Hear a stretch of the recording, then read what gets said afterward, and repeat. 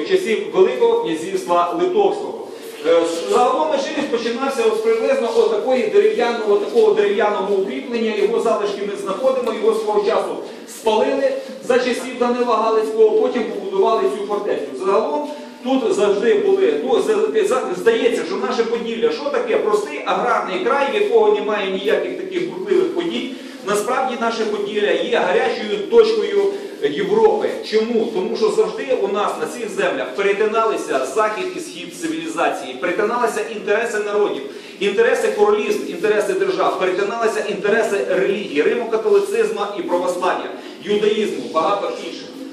Свого часу Меджибіж переміняв своїх держав, це треба дві руки своїх, щоб порахувати пальці, і ще одну руку у сусіда.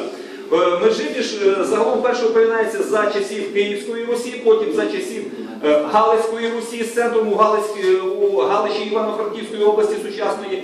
Було то так зване Болохівщина, Болохівські князі. Хто то такі?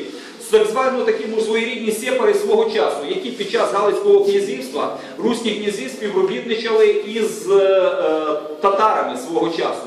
Ну, власне кажучи, цю фортецю тоді і спалили за часів Данила Галицького. А от такими от стрілами, які ми тут знаходимо, багато побили тих людей, які і поховані були на території сучасної фортеці. Ну тоді ще це не було території. Там, де ми от ходимо біля церкви, там свого часу був цвинтар.